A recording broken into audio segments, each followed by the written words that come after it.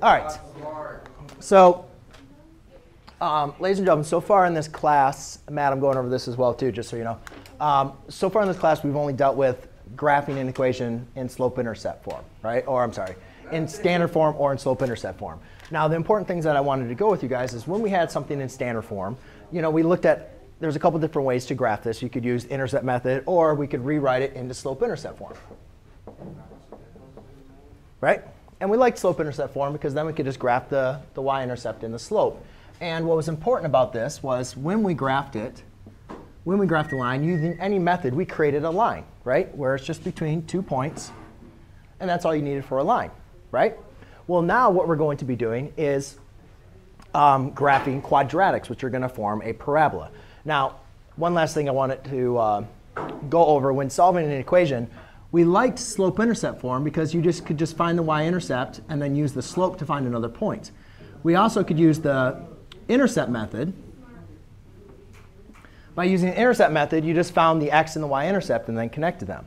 But one thing that we didn't really go over, because this is something that was more common in Algebra 1, was just choosing table of values, negative 2, 0, 1, and 2. You also just could have used numbers in for x and then plug them in to find the y value, right? Like a table. Like if I said y equals 2x plus 5, to find the points, you could pick numbers for x, plug them into the equation, and then find the value for y. Yes? No? Okay. Well, now, ladies and gentlemen, what we're going to start with today is quadratics that are in standard form. All right?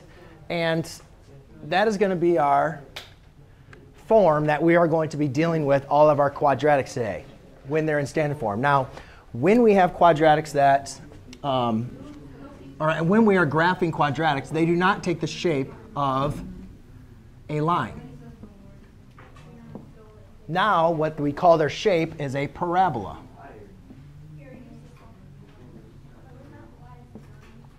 Okay?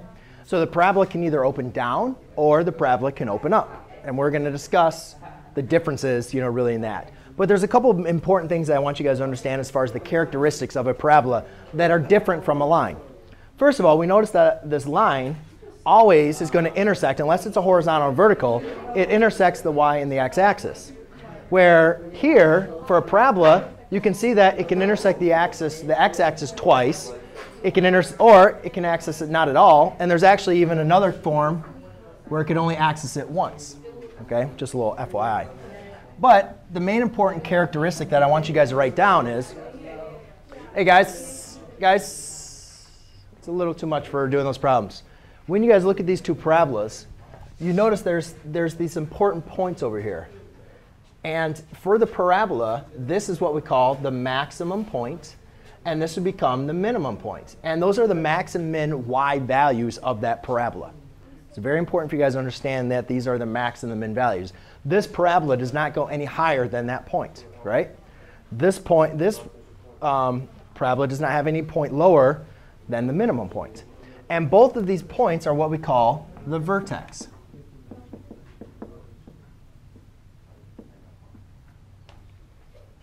So I will be using that vocabulary, so it's very important for you guys to know the vocabulary that we're going to be talking about. So the vertex is going to be your max or your min point.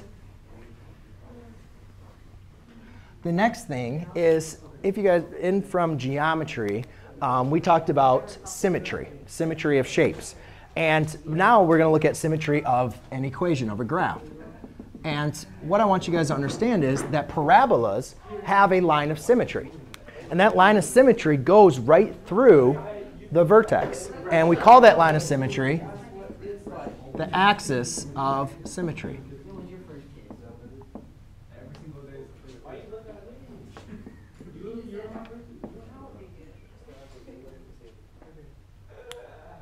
Okay? Now, so when we're going to learn on graphing, um, we need to, there's a couple things that we're going to um, do first. And one thing I want you guys to understand is when graphing, we need, we're, first thing we're going to want to do is identify the axis symmetry. Now, what I want you to understand is the axis symmetry is a vertical line. Remember when we were graphing, we had like, remember when we had to graph x equals 3? Right? Why was, so all you did was you went over to 3 and then you graphed a vertical line, right? So notice that the axes of symmetries are vertical lines. So the first thing we're going to do is graph the axis of symmetry. Or at least identify the, axis. when we're graphing, we're going to graph and identify the axis of symmetry.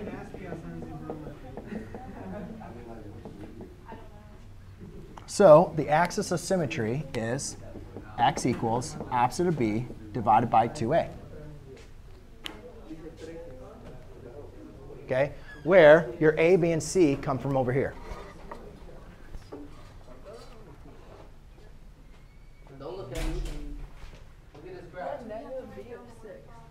It's opposite of b divided by 2a.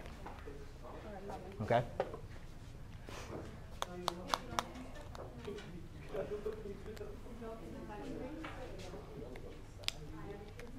So we identified the axis symmetry. Now, what I, that's going to give you the x value of your line, but it's also going to give you the x value of your coordinate for your vertex. Now, the next thing is important is going to be the vertex. And vertex can be, can be a little bit easier understood if I was going to use a function instead of an equation. All right? And that's going to be from my um, description here. Or for my vertex, so the vertex has the, the x value of opposite of b divided by 2a. The y value is when you plug in the x value in for x and solve for f of x, or your y value. So it's going to be f of opposite of b divided by 2a. And let me kind of give you an example to kind of where that makes sense. Um, da, da, da, if you guys had like f of x equals 3, and I set, or equals 3x minus 5. If I said I wanted to graph that, what you'd do is you'd plug in those points, right? So by finding the axis of symmetry, I find the x value. So to find the y value, what I simply do is do f of 3 equals 3 times 3 minus 5, which equals 4. And that's where the y value comes in. Does that make sense? So to find the vertex, you take the x, you take the axis of symmetry, which is your x value, and then you plug it into your equation of your quadratic to find the y value. All right? And that's basically what we're going to be doing um, when we're dealing with graphing. Now, a couple other things to do. That's just how you find the axis symmetry in the vertex. But how are you going to find your graph? Because, ladies and gentlemen, if we are looking into graphing, when we graph a line, I'll just use these two when we graph a line, we only needed two points, right? So let's say I find those two points. Well, that's not enough for me to show what my axis symmetry or what my graph looks like, right? So what we're going to do is, is we're going to use the axis symmetry. So once I find my vertex, so I have a vertex. Let's say my vertex is 3, 5. Then what I'm going to do is pick two points either to the right or to the left. And you can pick any two points. You could say like 2 and 1. And you figure out what those other two points are. So you just randomly pick you know, two points to the right of your vertex. You pick those two points, and let's say it becomes 7 and 10, whatever. So that now still only gives you, though, half of a parabola. So to find the other two, what we use is we use the axis of symmetry to reflect our points over the axis of symmetry to continue our graph. Did Everybody kind of see how I did that? Kind of? That's what Let's go through an example. It'll probably make a little bit more sense. Renee